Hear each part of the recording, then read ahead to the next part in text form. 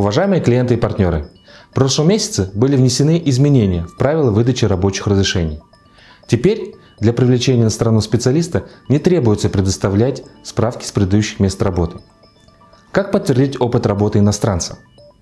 Теперь работодатель предоставляет письмо, в котором подтверждает, что квалификация и опыт иностранного работника соответствуют той должности, на которую его привлекает. Об этом указано в приложении номер 3 к правилам выдачи разрешений. Вместе с тем, правилом не предусмотрен образец самого письма. Поэтому, исходя из практики, мы рекомендуем готовить письмо на фирменном бланке компании и подтвердить в нем следующее.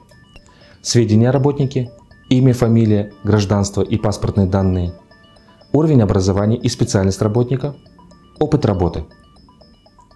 Обращаем ваше внимание, что образование и опыт иностранного работника должны соответствовать квалификационным требованиям к заявленной должности – Работодатель при этом отвечает за достоверность представленных сведений.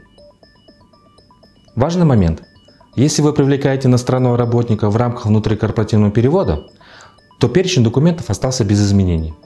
По-прежнему необходимо предоставить справку с места работы, письма от направляющей и принимающей стороны о квалификации и профессиональном опыте работника, трудовой договор или соглашение, письмо о внутрикорпоративном переводе.